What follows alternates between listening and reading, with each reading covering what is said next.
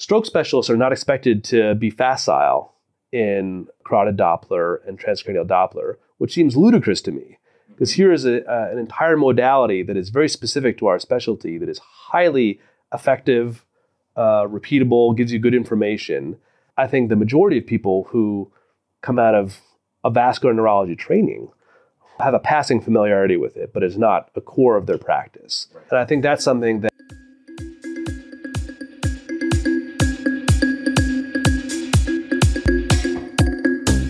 Welcome to the Strokecast. A Generation X stroke survivor explores rehab, recovery, the frontiers of neuroscience, and how to peel a banana with one hand. Hello, I'm Bill Monroe, and welcome to episode 50 of the Strokecast. You know, my first day in the hospital was filled with MRIs and CT scans and all sorts of other tests, and uh, okay, maybe that's a little bit of an exaggeration. There was only one MRI, but it seemed like dozens. And there were two CT scans. The, the first one, I was just kind of in shock from everything that was going on. And, and the second one, uh, I was just really annoyed at being in there and just not having a great night. So there were only three there, but they were still unpleasant. Plus, they're expensive and you got to go elsewhere in the hospital. You can't just stay in your room which is all you really want to do at a certain point. Well, it turns out there's another option that many neurologists don't even know about. It's called transcranial Doppler ultrasound, and it gives the medical team information that other scans don't. Plus, it involves no radiation or special rooms. Of course, it doesn't replace the other scans altogether, but it does give the doctors another tool for treating stroke patients. Strokecast regular Dr. Nirav Shah told me about this lesser known imaging technique and introduced me to one of its biggest fans at Swedish Medical Center. So this week I talk with Dr. Aaron Stayman. Uh, Dr. Stayman is an advocate for and expert in transcranial Doppler ultrasound. And this week we learn about his background. We talk a little bit uh, about aphasia but we spend the bulk of our time talking about transcranial Doppler ultrasound. We explore what it is, how it works, and how it benefits patients. You can actually see a short clip of one of these scans over at strokecast.com slash ultrasound. Dr. Aaron Stayman attended medical school at Tufts University in Boston, Massachusetts. He completed an internship in internal medicine and a neurology residency at Vanderbilt Medical Center in Nashville, Tennessee. During his vascular neurology fellowship at Emory University in Atlanta, Georgia, he received specific training in the performance and interpretation of carotid and transcranial ultrasound. He's currently a neurohospitalist at Swedish Medical Center and medical director of the Swedish Cerebrovascular Ultrasound Laboratory. So now, let's meet Dr. Aaron Stayman. So, Aaron, thanks so much for joining us here on Strokecast this week. Thank you for having me. I'm glad we were able to connect. It's uh, it's always a challenge to coordinate everybody's busy schedules. So when this works out, it's it's fantastic. Have you always wanted to be a doctor? I had a very long and winding course to where I am now. Early on, I thought that's exactly what I should do because I had a, a that kind of pedigree as one of those families where my grandfather is a general surgeon, my father is a surgeon, and uh, so what else am I going to do? uh, but I was very fortunate. My father had no expectations that I would do that. In fact, actively encouraged me to seek out other things. He said, "This is not the only thing you can do with your life, and uh, if you're going to go to all the effort and expense of doing this, make sure you really want to do it. Make sure it's an actual decision rather than something you do by default." Yes because uh, it's easy to get uh, trapped into that that mindset going into medicine. There's a lot of people who, you know, get into their first year of residency after all the pre med of the medical school, like, wow, what am I doing here? that's that's a hard realization to have at that point. Mm-hmm. So I I feel lucky that, that there's a long a large black hole in my resume between, between, college and uh, and entering medical school that uh, was was time well spent. But uh, the, the, the short the short version of that is uh, I went to uh, to college and I planned to be you know, a biology major, something like that, something more traditional. And within a semester, uh, I was taking Russian literature courses and uh, playing in the big band, and I ended with uh, a Russian major. Huh. And, wow. uh, yeah. Uh, unsure of what my future would bring there. The job offers aren't flowing in when you have a, a bachelor's in, in Russian literature. So I ended up doing the Peace Corps for uh, for a couple of years, and uh, it was during that experience that I gained a different view of medicine. Folks who were taking care of people with tuberculosis in these uh, rural villages who uh, had not received their salaries for nine months Wow. were still seeing patients and keeping up in the literature and really genuinely enjoyed what they were doing in spite of the complete lack of remuneration for their services. Right. And that was that was an inspiration to me. And they were very interesting people and they cared about what they did. They'd get, you know, a, a carton of eggs or, you know, some some meat for whatever whatever animal was butchered that day. Right. Uh, and that was, you know, that was their their life, and they found that very, very gratifying. Uh, and that that left an impression on me, and I uh, started applying for these post baccalaureate pre medical programs after the Peace Corps. Uh, that took a couple years to pull together because I had no prerequisites um, But you can talk all about Dostoevsky. I could talk about Dostoevsky, and I actually worked as a Russian interpreter for uh, for the Russian in Boston, where I Oh, did, the, wow. did my uh, pre medical and medical education. There's a very large uh, Russian speaking population, an older generation who is not going to learn English, and so sure. part of my uh, my day job when I was in my studies there was to uh, interpret for the uh, the Russian speaking patients, which was a lot of fun, and I made a lot of classic mistakes, but also got exposed to a lot of different parts of the medical culture, which was good for me uh, to see from the inside as as uh, as an observer, and I think that that informed a lot of my decision making as I went forward. Right, right. And as you go ahead and, and choose specialties and, and things like that, and having that translation ability, it seems like, you know, over the last 20 years, we have had a lot more Russian immigration into the U.S. So Mhm. I met, imagine that's turned out to be a valuable skill multiple times. Yeah. Has language affected or given you an advantage in understanding how the brain works by having access to these different languages and by having had to work as a translator, especially since aphasia can be such a, a common complication in stroke? Yeah, uh, I mean, being interested in language and having studied other languages uh, has certainly made the entity aphasia a much more interesting uh, thing to behold and to realize there is a certain way of expressing oneself and bearing oneself, and you know, perhaps some effect on how you formulate your ideas as well that is intimately tied up in your in your language. And when you lose that uh, cultural thread, it can become difficult to express that part of, uh, of your identity. One of the things that I find most interesting about language is the beyond vocabulary and intonation, uh, how much gesture varies from language to language and culture to culture. And frequently, what is preserved uh, in aphasia is your ability to maintain facial expression and gesture. And the nonverbal communication, particularly in, in you know pure motor aphasias that affect your ability to to phonate and make symbolic language that's that's audible. Uh, you realize that perhaps more than half of the interactions we have are largely nonverbal.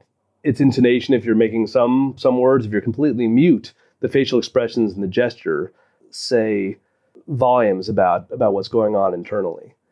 I, I often like to tell the story of one of my favorite aphasia patients who had had a a very particular stroke of his left frontal lobe that left him without any expressive language at all. He was able to understand everything, and his facial expression and his gesture was completely intact. And that guy had no barriers to his communication. He had very bushy eyebrows as well. the way he'd express himself was, was very was very profound. And the only word I ever heard him say, I, I uh, was showing him different objects in the room and saying, "Can you name this? Can you name this? Can you name this?" And as the final object, he wasn't able to name any of them. He just kind of looked at it. He knew what it was, and he'd just shake his head. And finally, I, sh- I showed him my wedding ring, Uh-huh. and I pointed to that. and said, "What's this?" And he thought really hard. He pointed it and he said, "Trouble."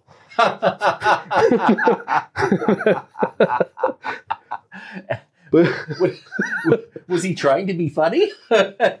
he could that that that guy I, I saw him several times Yeah. in my clinic and he had no no problem cutting it up and making me laugh Oh. without saying a single word awesome. um, but that's you know through my experiences with language and being really bad at language on the front end of it and realizing how much you can make yourself understood with with Mhm. inference and with intonation and with gesture and how much uh, people who've lost their symbolic language are able to make themselves perfectly well understood without that I think that's an important important concept to uh, to internalize as a neurologist.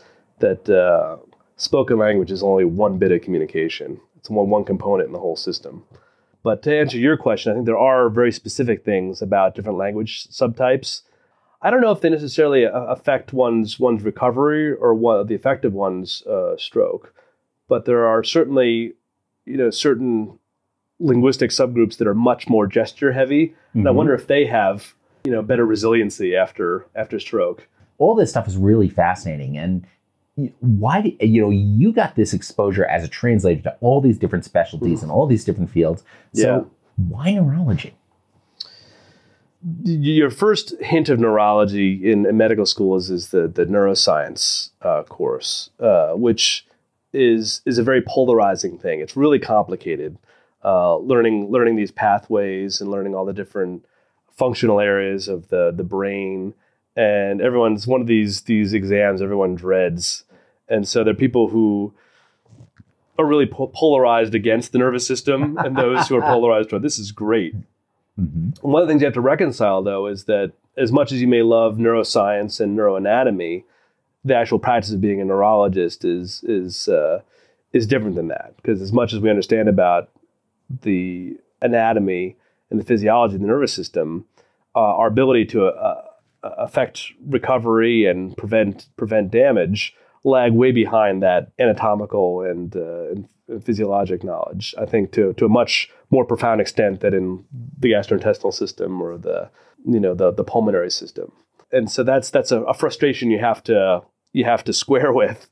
There's also a very traditional view that uh, neurologists are really great at diagnosing things, and they're no good at treating things. And that was always a, a notion that uh, uh, that bothered me, and I thought this is the reason I won't be able to do neurology. And when you get into clinical neurology and your rotations, you realize that we treat all kinds of things, and the rapidity with which uh, we're getting better at things like stroke, which which even you know the early part of my training was like, like well, you know, you just give them an aspirin and see what happens.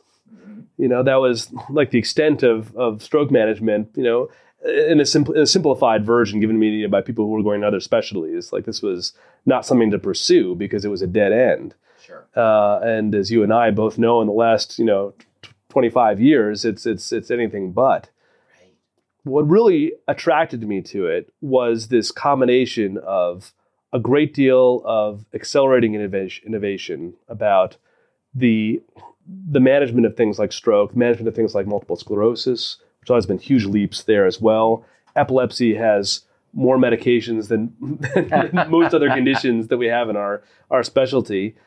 Um, you know, deep brain stimulation was coming in for tremor and Parkinsonian disorders, and so it was a field that seemed to be on the brink of having a lot to offer in terms of making people better.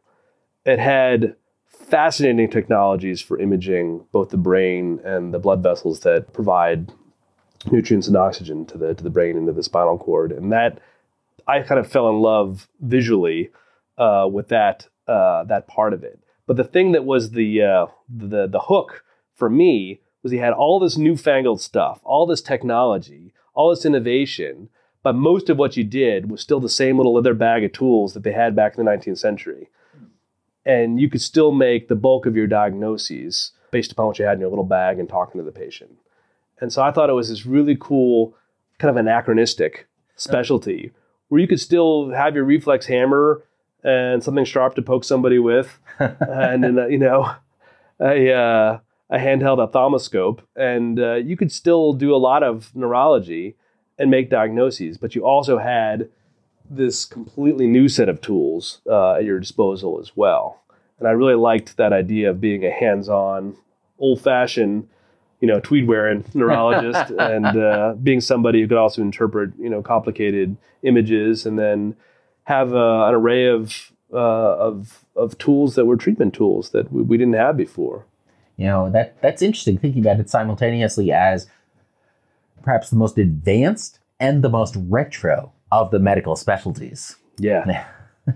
So with within neurology, you've mentioned getting into the imaging and the visualizations and starting to see how that goes. And uh, so your specialty, as I understand it, is in sonography, which I, I you know, the the writer in me likes the idea that uh, you know you're talking about the beauty of something you do with sound Mm-hmm. in that. So can you tell us a little bit about that field? Because I think most all of most of us never know about ultrasound. Is you know, are you pregnant or not? Right. And stroke survivors probably know a little bit more that so do you have a hole in your heart or do you not? right. But beyond that, that first day where we're going through MRIs and CAT scans and people with magnifying glasses, that's Yeah. all a blur for most of us. Yeah. Um, it, it is uh, still in many places in this country kind of an orphaned modality for for diagnostics. Uh, and I'm, I will what admit, do you mean by that? I'll admit to you, I think uh, it doesn't it does not have a lot of uh, advocates Okay. out there in the neurology world. Uh, it is you know been it's it's been well developed. It has good data to say it can it can provide good diagnostic uh, information for secondary prevention of stroke. But I think there's a overall lack of understanding of the modality, and there's not a lot of teaching of it. And to be quite frank, it was very late in my training that I even came upon it. I knew of it as a modality uh, in neurology for looking at the neck arteries, mainly at the carotid arteries, uh, to decide if someone had a degree of narrowing in that vessel that warranted an operation, either placement of a stent or carotid endarterectomy, where they remove the plaque with an open procedure in order to prevent stroke down the road in someone who had had a transient ischemic attack or a stroke already. Uh, but beyond that, it was as a modality I didn't think had a, a, a huge role. And then when I was in residency, uh, one of the uh, if a, if a hospital has transcranial Doppler, which is the version where you use the thin parts of the bone in the skull and the, the temporal bone in front of the ear, you can actually see the major arteries at the base of the skull in about 90% of patients. Uh, you can get enough sound energy through there to actually get the Doppler signal of that bulk flow of red blood cells moving away from you or toward you, depending upon the orientation of the vessel. So that's basically like taking that wand we may see on TV for Mhm. uh, looking at, uh, at at fetuses and using that and applying that to the temple to get an image of what's happening in the brain. That's right. You can look through the, the temple and you can see the middle cerebral artery, you can see the anterior cerebral artery and the posterior cerebral artery. If you look through the eyeball, through the orbit, you can see the carotid siphon, which is the end of the carotid artery as it comes up into the skull base. And you can also see the ophthalmic artery, which comes off of that artery and provides blood flow to the to the retina. If you look through the back of the skull, uh, and the foramen magnum with the spinal cord comes in the back of the skull, uh, you can also see the two vertebral arteries uh, that make up the posterior circulation, and they combine to form the basilar artery at the back. The eyeball window and the foramen magnum window at the back of the, the head um, are the reliable ones. Temporal windows, there's 10 to 15% of the population, their skull is literally too thick. And I have to tell them we're talking in literal terms, not figurative terms. Sure. Many people have a thick skull. These people actually have thick skulls. That limits us. That, that's a limitation of the modality. Anyway, I'd never encountered it before Mhm. I went to residency. And uh, it's, it's common if, the, if you have a technologist who is skilled at, at using transcranial Doppler, the most common uh, way they use it is for people who have had hemorrhages, a specific type of hemorrhage called a subarachnoid hemorrhage when you have an aneurysm that ruptures in the brain. And these patients can have a complication uh, known as vasospasm. And so the presence of blood in the subarachnoid space around the brain causes the smooth muscle in these big vessels and the smaller vessels uh, toward the uh, the edge of the brain to, to constrict. And that can be so bad that it can actually cause strokes as a secondary phenomenon in the uh, days to weeks that follow this. Institutions that had this available would several times a week would would look at the velocities in those big vessels at the base of the skull. If there's a trend toward them going up, they could intervene uh, with uh, catheter angiogram. They put catheters up into the carotid arteries and actually uh, infuse vasodilators, try to stave off the uh, vasospasm. And a vasodilator is something that basically opens up the blood vessels more. Correct. So I saw it there, and the, you'd see a technologist, you know, in the neurological ICU going around seeing these patients, and I always thought it was kind of a novelty item. Mm-hmm. I never thought that it had a wider role in the treatment of ischemic stroke. Mm-hmm. Um, and it was really only when I got to my fellowship at uh, at Emory down in Mhm. Atlanta, uh, where I had a, uh, mentor who was uh, an aficionado of uh, transcranial Doppler, and uh, taught me how to do this to perform the studies, taught me how to interpret them, and gave me the the the full spectrum of what the modality could offer. And I was shocked. I had no idea that Mhm. uh, that it was capable of doing all these different things to a level approaching, you know, as good as MR angiogram and CT angiogram, the kind of things we, we do routinely in all our patients. And, and it ha- seems like it has the added advantage of, I mean, the problem with the CT scan is that, you know, there's some limited resolution issues Mhm. and it's radiation. So if patient already gets a ton of x-rays for whatever reason, you don't necessarily want to do that. Yeah, Or an MRI, which, you know, can give you some amazing results, but if the patient has any metal in them, whether from jewelry you can't Mhm. remove or shrapnel or anything like that, you can't send them an MRI. Or if they have like a metal mesh uh, from another surgical procedure, MRI isn't an option. yeah.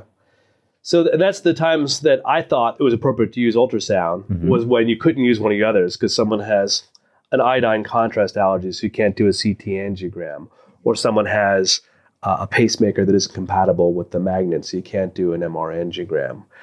But what I've learned is that in many cases, transcranial Doppler and carotid ultrasound of the neck are perfectly adequate to do a stroke workup and probably the majority of people. Will give you the information you need. There are certain segments that you cannot uh, get sound energy to well enough to see that you need another modality for.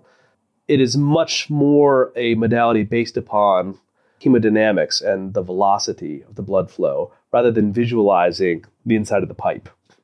Okay. People like MRA and CTA because it looks like the anatomy textbooks. Right. It gives you it gives you the whole tree, whereas the Doppler is giving you little segments, and it's showing you kind of a grainy looking picture, kind of like you know the the, the obstetrical you know ultrasound pictures where it's kind of looks like a baby, but it's kind of freaky looking. too. Yeah. Uh, and so you think, get things that look like a vessel that show you blood flow, but it does not look as pretty as a CT angiogram that's been reconstructed or an MR angiogram does. But it also gives you information those other studies don't.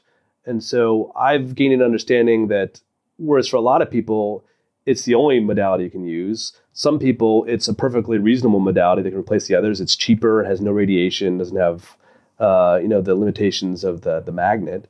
Um, Sounds like it's something you can just wheel into a patient's room instead of bringing the patient to a dedicated very space. portable and it's repeatable, which is the thing that the other the other modalities it's tougher. You know, if someone has borderline kidney functions, you want to be getting CT angiograms every few days if they have a dynamic exam going on. Whereas ultrasound, you can do it five times a day, and that sound en- energy is is not at a at a level that's going to be harmful to them, and you can actually see a dynamic process, you know, going on. The the thing that ultrasound can show you that MRA and CT angiogram do not, if you're looking at the vessel specifically, Mhm. is the actual waveforms and the dynamics. A CT angiogram will show you that contrast is getting to that vessel at some given time, but it doesn't tell you how it gets there. It doesn't tell you the direction of the flow, does not tell you the velocity of the flow. Okay. And so there may be uh, a basilar artery that's reversed because the two vertebral arteries are so blocked off that it actually has to reverse its flow and get recruit blood flow from the the carotid circulation forward uh, through communicating vessels at the base of the skull. And a CTA will show you that blood's getting to the to the basilar artery, but you can't tell if it's getting there the traditional way through very tight tight narrowings in the vertebral arteries, or whether it's coming the opposite way. And the vertebral and the um, excuse me, the uh, transcranial Doppler will show you that the blood flow is in fact reversed. Uh, and then none of those other modalities will give you direction. It's kind of like in math class where the teacher said, you know, you could get the answer, but you wouldn't get the points because you didn't show your work. Transcranial Doppler shows the work that the blood vessels are doing to feed the brain. That's correct. That's correct. And there's other things about the uh, the blood flow that you can interpret from the the waveforms and the Doppler that you can't get from the other ones. Uh, you can see how asymmetric the flow is between one middle cerebral artery versus the other. If there's a dissection of an artery, there's an occlusion of an artery, there's a severe narrowing. Those waveforms look very, very different. They get blunted on the one side, and the uh, there's compensatory flow. You'll see that the other side of the brain is actually trying to shift blood flow across a communicator at the the center of the brain, uh, a place called the anterior communicating artery, to help so the left side can help the right if there's a bad stenosis or narrowing on the right carotid artery. So all those questions, steal phenomena, where part of the brain or or the arm, in the case of subclavian steal phenomena, where you have the arm actually stealing blood flow from the back part of the brain uh, by reversing one of the vertebral arteries that's a diagnosis you can really only make with Doppler because you need to know about the direction of flow. And you can do physiologic tests like putting a blood pressure cuff on the arm and cutting off the circulation for three minutes.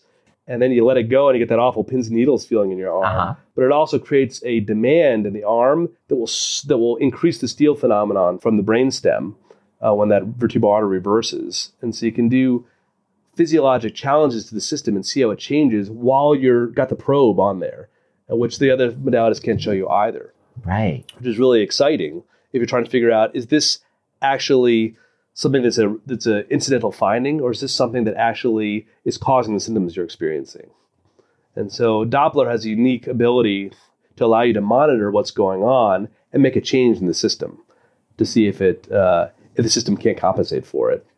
That's really interesting because you know we you know obviously stroke is generally you know it's a clot or it's a burst but ultimately, it's part of the brain. It's not getting the blood it's supposed to get from something from something else. And the Doppler will show you it's possible your brain could be starved because something else is stealing mm-hmm. stealing the blood, and this will show you that. Correct. Correct. That's that's really interesting. I had never had never really heard of that. That I also think it's fascinating how the brain is now shifting blood from one side to the other to take over. It's kind of like uh, when they're doing emergency repairs on the uh, on the Enterprise and mm-hmm. diverting power from the shields to life support yes. or whatever. The brain is doing that with blood. Yes.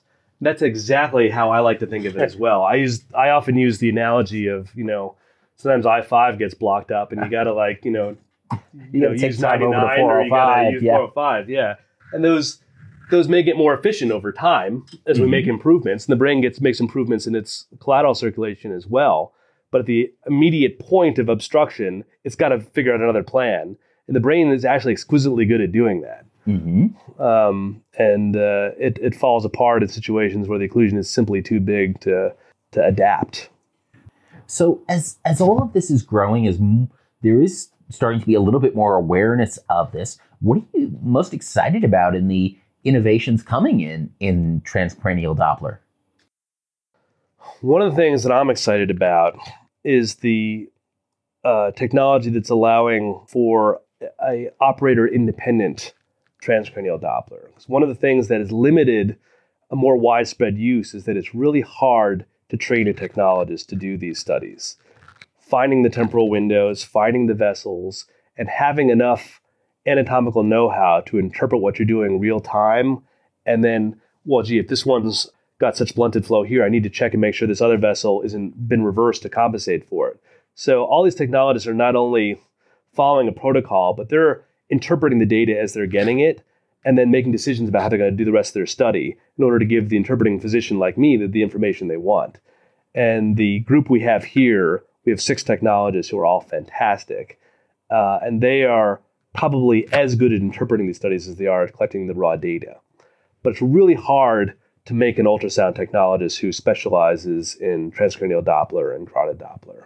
And that's been a barrier for a lot of places to invest in the equipment and the technology because it's it's it's hard to find technologists who has that specialization to do it well to get useful data. Because it's not just you can put a list of these are the 30 points you need to hit to hold it at this angle at this point to get this image. Mm-hmm. You have to do the live interpretation, unlike other organs, which you know more stay in place. What we were talking about with uh, neurology earlier, stuff moves around, relocates. You have to be able to interpret that too. Yeah, yeah, and understand all the different anatomical variants that that can happen in the uh, the intracranial circulation.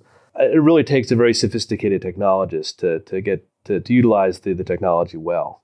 So there's uh, in development now a robotic version that is uh, technologist independent that can find all these windows and get at least the basic uh, waveforms for the major arteries at the base of the, the skull through that, that temporal window.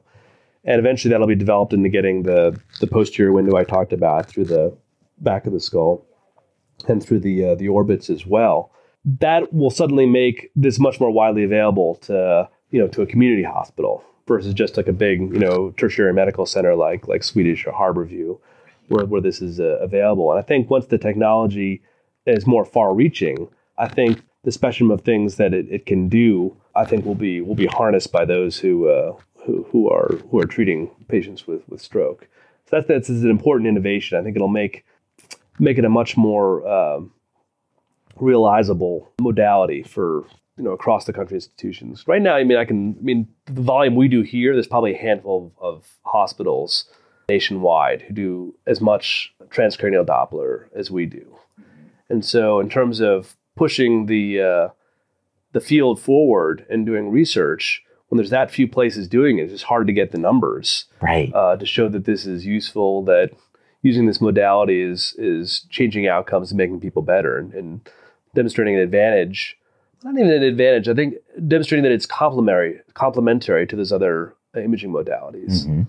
Uh, I love the combination of CT angiogram and Doppler.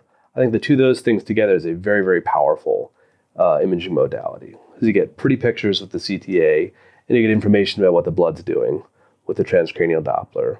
And you can, the transcranial Doppler, not only can you repeat it every day, do it multiple times a day, you can take it in the OR, you can take it in the patient's room, you can take it to the ICU. Can- so we monitor people who are getting these uh, transluminal aortic valve replacements, where instead of opening up the chest, they're going through, you know, uh, a vessel in the groin or a, uh, or going through the carotid here, and seeing what happens in the brain circulation while you're doing those procedures.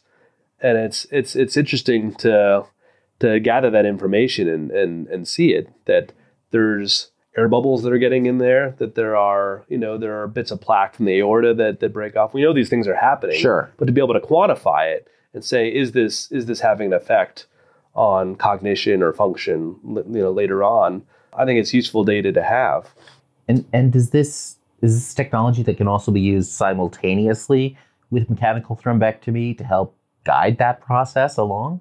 the catheter angiogram is the gold standard Okay. for all these modalities because it shows you direction of flow it shows you how blood gets there 'Cause it's basically a movie of blood running through the brain from the arterial side through the tissue to the venous side and coming back back out again down to the heart and that's like kind of the the, the thing we're all trying to achieve mm-hmm. we know with multi-phase cta where you're getting like different snapshots of that movie uh, or there's uh, there's there's flow MRA where you can kind of get direction as well. They're all trying to, to gain that that gold standard view mm-hmm. of really the best temporal resolution, the best spatial resolution is that catheter angiogram.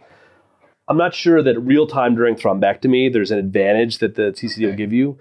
We do use it after thrombectomy though, because what we've learned is that reocclusion of that vessel is a thing that can happen And reocclusion is another clot forming in the same in spot. the same spot, particularly if there's something below that clot, like a plaque in the vessel, that's still a surface that can make platelets aggregate together and, and form a new a new clot.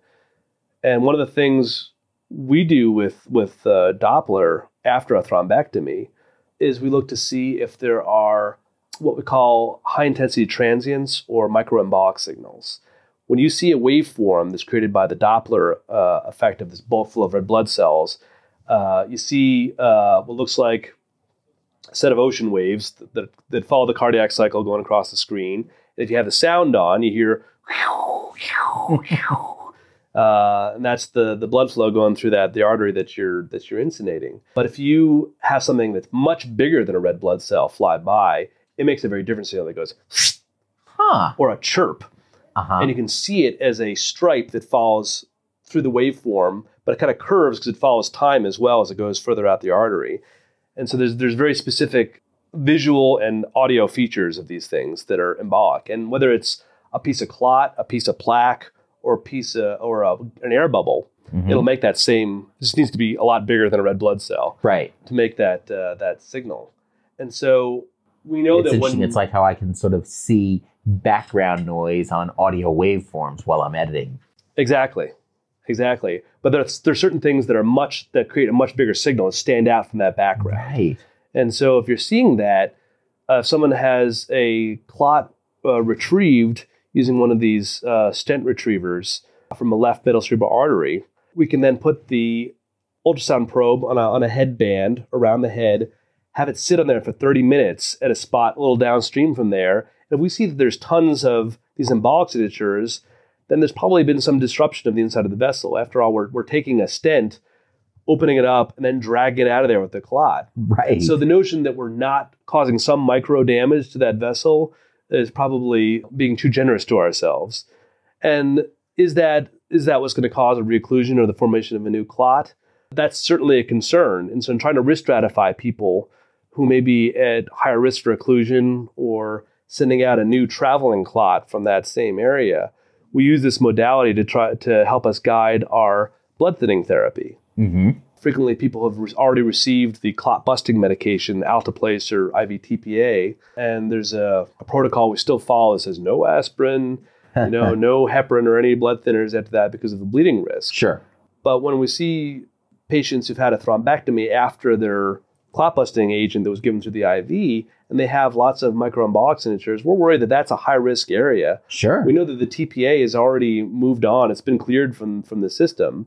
And although there's a theoretical risk of bleeding, these are patients we, we may decide, like, I think it really makes more sense to have something that's going to keep the platelets from binding together. Or in a situation where we think there's already clot there, we'll, we'll start something like a heparin drip to keep it from propagating. and this gives you the more more data to make the the right decision in terms of balancing uh, patient safety and the risks of uh, blood thinning versus the risks and odds of another uh, another stroke happening. Correct. And if you see there's, you know, in a course of 30 minutes, there was 20 of these microembolic signatures, you make a change. Uh, you know, you start them on aspirin, you load them with Plavix, or you start them on a heparin drip. You check your TCD again, your transcranial Doppler in six hours. If all the signatures are gone now, you also have a biomarker that that you've achieved the the clinical effect that you're going for as Mhm. well. And so the repeatability and the safety of the modality becomes really simple because doing you know eight catheter angiograms in a week on a patient is not safe to do. Right. Uh, it's a very invasive test, and you know although it has a good safety profile in, in good hands, uh, you know even a less than one percent risk of causing a stroke. If you do it enough times, that that that adds up. Exactly. Exactly. If it's a one in a one in a hundred risk, and you do it a hundred times, Right. then the data's not not friendly to you. What's really interesting is the idea of having it as a headband or putting it into a hat or even a helmet to give Yes. you some ongoing monitoring in a very safe way is like that's just an awesome innovation. it's a really cool innovation. I think that's why with the uh, the the robot, you know, this this opens us up to having something that's that's a that's a auton- not autonomous, not self aware, like you know, not the Terminator or anything, but like something that you can put on the that, that is that is truly operated independent. That in an ambulance you put on the head, and while they're coming, you know, three hours from the peninsula because they you know they can't fly because the you know the weather is no good for the helicopter or the or the plane. We can get data while they're en route about what's going on there. We gave them TPA. Did they recanalize on their own? How are they getting blood flow there? Do they have? Are they harnessing those other non I five uh, roadways to get blood flow to that part of the brain? The the horizon is, is very exciting looking to me Uh-huh. with with this technology. Another uh, thing that has not panned out yet. We know that you if, if you apply the same ultrasound frequency that we use for diagnostics Uh huh. to a clot in vitro in a, in a, in a petri dish Uh huh. with TPA, there's much higher rates of dissolving that clot apart. Similar concept to how they break apart kidney stones with with sound waves. Yes.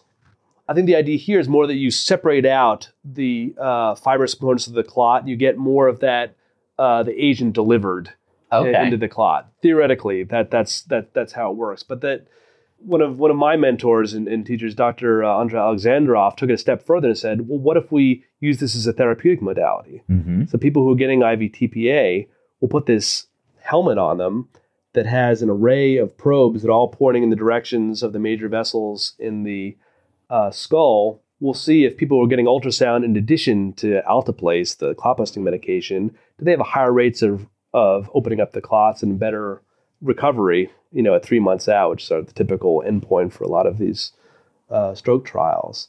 And the the answer is so far is there has been a difference. Okay. But you know that that technology is going to be reworked as well. Mm-hmm. And even if that the therapeutic part doesn't pan out, the helmet itself, I think, is still a fascinating thing Mm-hmm. that will allow us to get data uh, remotely, operator independent, uh, that we can use for a process that we know is very dynamic. You know, we think of it as like, oh wow, they showed up with like the clot in this place. We send them down here, and that three hours, we know all different kinds of things can happen. It can open up on its own. It can migrate uh, Uh-huh. downstream to another part.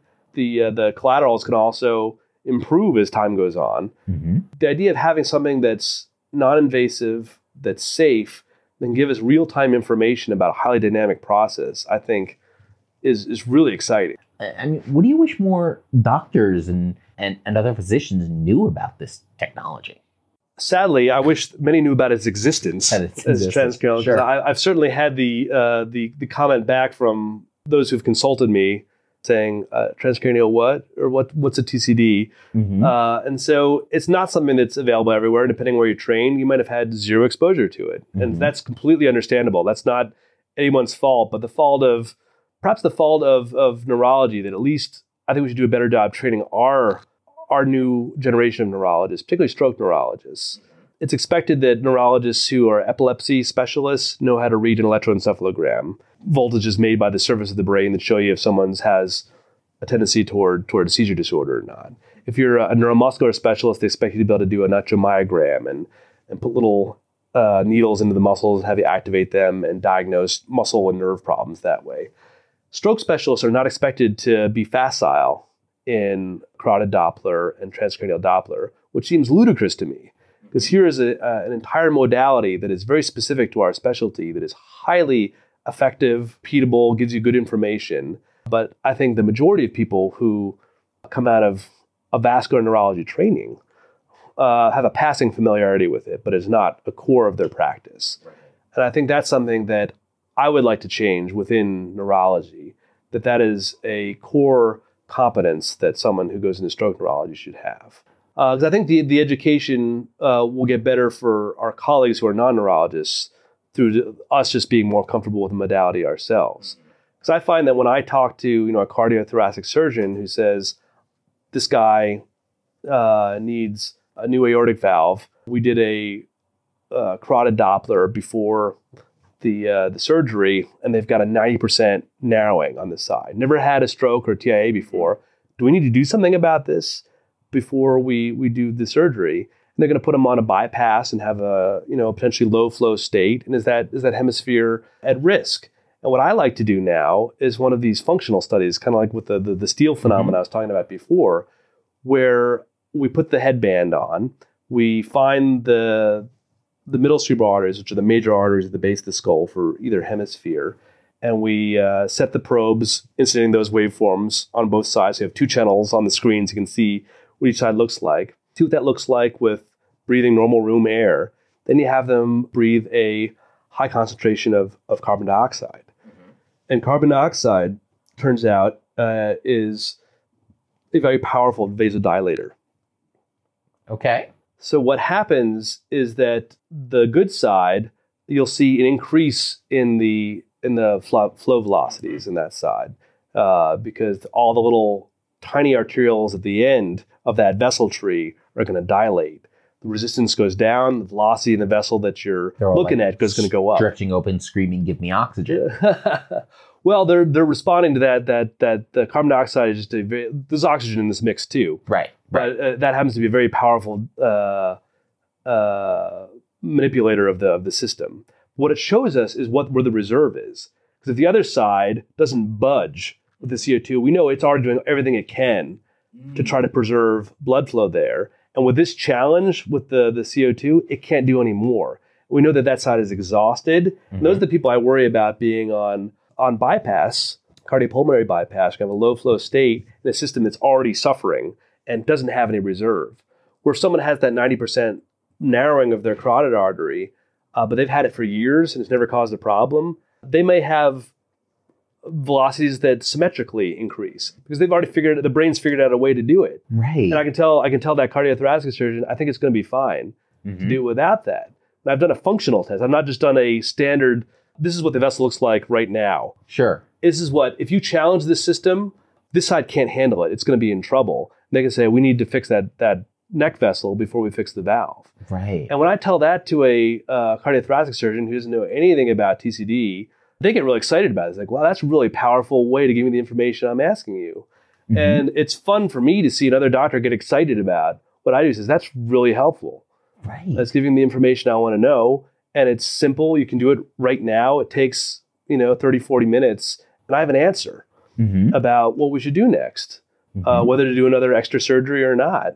You know, that, that has, you know, its own procedural risks and someone who's already sick from a cardiac issue. And I think that that's really powerful information that this little probe, this little thing that just sits on a cart can do for us. But I think a lot of people don't know about it. And my major problem is people who should know about it don't know about it. And so that's where I'd like to start first. You know, in my career as a, as a, a stroke neurologist, as an educator, Mhm. uh, and that's one of the things we do here at Swedish is we have a uh, an annual symposium where we invite people who are neurologists, who are radiologists, uh, neurosurgeons to come and learn about how we use transcranial Doppler.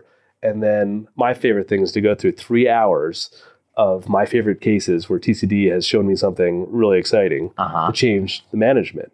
And that's that's a l- really fun to share with people, and people get excited about it. Sure. They take it back to their institutions, like we want to have a TCD lab too, right. and that's fun. But uh, that's the kind of citizens diplomacy I'm doing right now. It's kind of going back to my Peace Corps days. Right, right.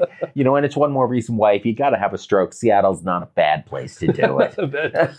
Don't if you can get away with it, don't do it. don't don't do it. Yeah. But but that's awesome. So if folks want to learn more about transcranial Doppler, Mhm. where should they go? What should they uh, look for? the uh, uh, American Society of Neuroimaging uh, is a great resource for literature about transcranial Doppler and carotid Doppler, and also about if you're interested in becoming certified, they do the exam. They tell you what you need to, to get in order to get there, uh, and also what's going on in terms of current research. So Aaron, thank you so much for joining us this week. This has been this has been fascinating. I had no idea there was so much of this involved and really just what this was what all this was involved with and the potential is really fantastic.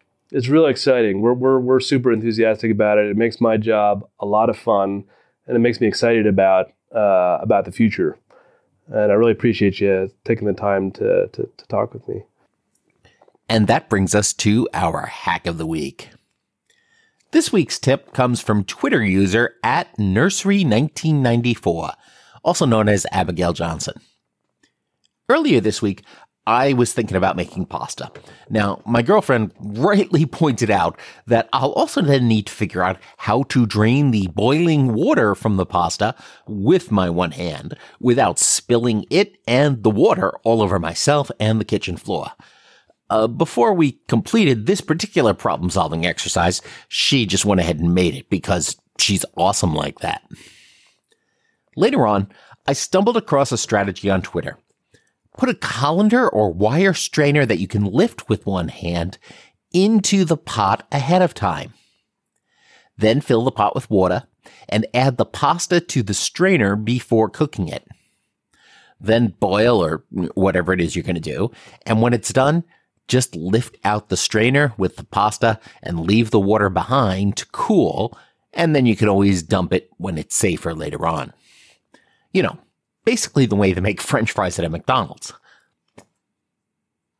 Before we wrap up today, I do want to share one more update. Strokecast does have a presence on Facebook. Just search for Strokecast the next time you're on Facebook for more videos where I share stroke related things that just happen to be on my mind. Sometimes they are well thought out. Sometimes they're still just, you know, thoughts in process, but it's fun stuff regardless.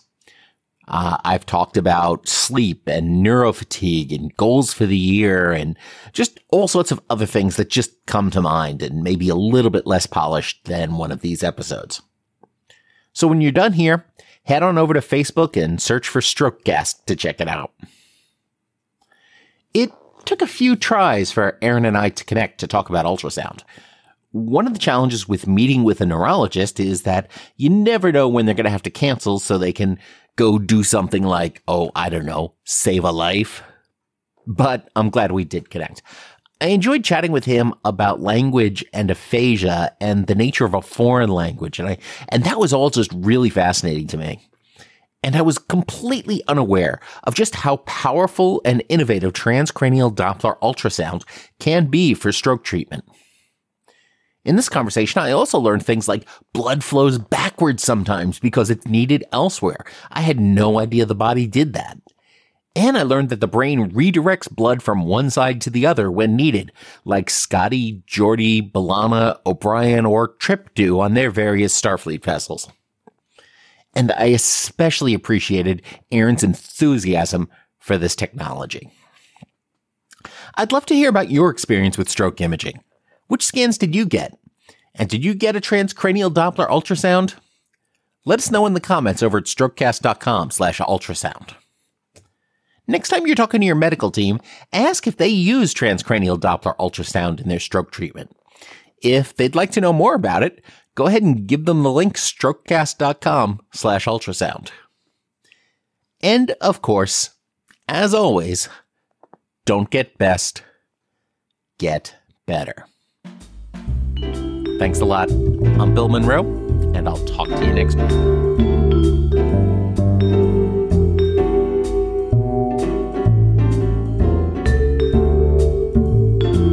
The Strokecast, Bill Monroe, and Bill's guests provide general information and entertainment, not medical advice. Please do not make any changes to your treatment plan or the execution of your treatment plan without first consulting your personal doctor or medical team. The Strokecast is a proud production of the Currently Speaking Podcast Network.